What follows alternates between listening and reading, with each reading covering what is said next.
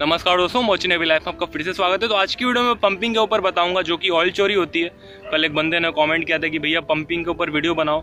कौन कौन से वेसल्स पे ऑयल चोरी होती है और कितनी सैलरी कमाते हैं जो पंपिंग के वेसल पे जाते हैं और कहाँ कहाँ होती है सबसे ज़्यादा पंपिंग आपके हिसाब से? तो मैं बता दूँ यार, पहली बात तो जो पंपिंग सबसे ज़्यादा होती है वो आप मलेशिया साइड चले जाओगे और जो गल्फ कंट्रीज़ में चले जाओगे ईरान साइड चले जाओ दुबई साइड चले जाओ, किस साइड चले जाओ तो इधर साइड जितने साइड भी जाओगे आप लोग वहाँ पर सबसे ज़्यादा पंपिंग होती है और सबसे ज़्यादा तो गल्फ कंट्रीज़ में होती है, जहाँ पे तेल बहुत ज़्यादा है ईरान साइड चले जाओगे, उधर साइड चले जाओगे तो वहाँ पे बहुत ज़्यादा होती है। मैंने आपको एक स्टोरी भी बताई थी जब बहुत पहले वीडियो बनाया था कि एक एक बंदा मिला था मेरे को जब मैं हॉस्टल में रहता था। और वो उस पंपिंग के ही वेसल पे काम करता था। उसने बताया था कि मेरे को कि मैं दो महीने में बारह लाख रुपए कमाए थे। उसका जो कॉन्ट्रैक्ट था, वो बंदा मेरे को बताता था कि मेरा कॉन्ट्रैक्ट था छः सात महीने के लिए। कोई एजेंट के थ्रू गया था, उसको ये भी नहीं पता था कि वो वो जो वहाँ पे जा रहा है, वो पंपिंग के वेसल में जा रहा है। उसको ये नहीं पता था, वो पनामा का बंदा था। पनामा सीडीसी के थ्रू गया था वो बंदा। और वो बता रहा था कि मैं गया था आठ महीने के लिए, लेकिन वो दो महीने में ही वो बता रहा था कि मैंने बारह लाख रुपये कमा लिए। जो पंपिंग के वेसल में इतनी ज़्यादा पंपिंग होती है, अगर जब पंपिंग होगी ना तो जितना भी आप लोग, जितने भी क्रू हैं, जितने भी ऑफिसर है, सब में में पैसा बढ़ता है, जितने भी तेल की चोरी होती है। तो वो लोग ये नहीं बताते, वो कंपनी में बताते हैं कि हमने इतना तेल ही खरीदा था। तो कंपनी में वो पूरी रिपोर्ट नहीं भेजते, बोलते हमने इतना ही तेल खरीदा और जितने तेल जो चोरी करते वो गैलन रहता है बड़ा बड़ा गैलन रहता है। उसमें भर के वो लोग सेव कर लेते हैं तो जो एक्स्ट्रा जो शिप आती है, वहाँ पर वो लोग भेज देते हैं एक्स्ट्रा डॉलर कमा लेते हैं उससे। तो वही होता है पंपिंग तेल चोरी कर करके वो लोग कमाते हैं। तो उस बंदे ने मेरे को यही बताया था कि मैं वो वेसल पे काम करता था और उसने सिर्फ़ दो महीने में बारह लाख रुपया कमा लिया। और वो बोला कि भाई मेरे को शिप पे नहीं रहना, वो शिप का साइन ऑफ़ करके तुरंत घर आ गया।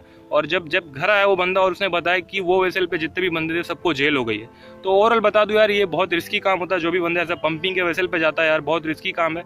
अगर आपका बाई चांस आपको अगर जाने का शौक है तो कई बंदे जाते हैं। इंडिया में कई सीफेयर आप लोग देखोगे जो कि पंपिंग वेसल पे काम कर रहे हैं अभी भी, और बहुत ज़्यादा पैसे कमाते हैं। शॉर्ट पीरियड टाइम में आपको बहुत पैसे मिल जाएँगे। जितना कि आप बीस साल में लगा दोगे मर्चेंट नेवी लाइन में करके, उतना पैसा कमाओगे। उतना वो पाँच पाँच छः साल में अगर वो पंपिंग वेसल में चले जाते वो कमा लेंगे, इतना पैसा है पंपिंग के वेसल में।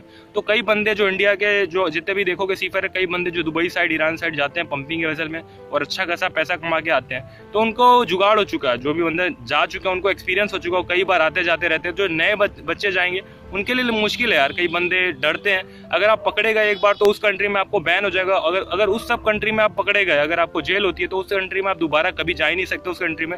आपका जब भी पासपोर्ट पे जाओगे, देखोगे, वहाँ पे आपका इमिग्रेशन में ही पकड़ लेंगे आपको। फिर वापस आपको डिपोर्ट कर देंगे वापस अपनी कंट्री में। तो वहाँ पर अगर आप पकड़े गए कोई भी कंट्री में, किसी में भी जा रहे हो तो वहाँ पर आपको काफ़ी दिक्कत हो जाएगी। तो मेरे हिसाब से जो भी बंदा पूछ रहा था पंपिंग के लिए, यार पंपिंग में पैसे बहुत है, लेकिन रिस्क बहुत ज़्यादा है। अगर आप बिना रिस्क के जा सकते हो। अगर आपको रिस्क लगता है कि हम मैं कर लूँगा तो जाओ, कई एजेंट मुंबई में मिलेंगे, जो आपको ऐसे वेसल्स पे भेजते हैं जहाँ की, जहाँ पे पंपिंग दबा के होती है। वहाँ पे अच्छे पैसे कमाते हैं लोग। बहुत ज़्यादा पैसे कमा लोगे। आप सोचोगे भी नहीं, उतने ज़्यादा पैसे कमा लोगे। दो तीन महीने में ही आप सोचोगे, जितना आप समझ लो कि नौ महीने का कॉन्टेंट मारोगे, जो मेन वेसल्स पे मारोगे, उससे ज़्यादा आप पंपिंग के दो तीन महीने में कमा सकते हो। इतने पैसे हैं पंपिंग में। जितने ऑफिसर्स कमाते हैं, उतने क्रू कमाते हैं पंपिंग के वेसल में। तो समझ लो, इतने पैसे पंपिंग के वेसल में, लेकिन बहुत रिस्क है। मेरे हिसाब से तो मैं मना करूँगा, अगर आपके हिसाब से आपको लगे कि आप जा सकते हो तो आप जाओ। मेरे हिसाब से यार रिस्क है, बहुत ज़्यादा रिस्क है। अगर आप पकड़े गए एक बार तो वहाँ पे दिक्कत हो जाएगी, आपका पासपोर्ट बेकार हो जाएगा, आपका सीडीसी खराब हो जाएगा तो ओवरऑल काफ़ी दिक्कत है। ऐसे वेसल्स में मत जाओ।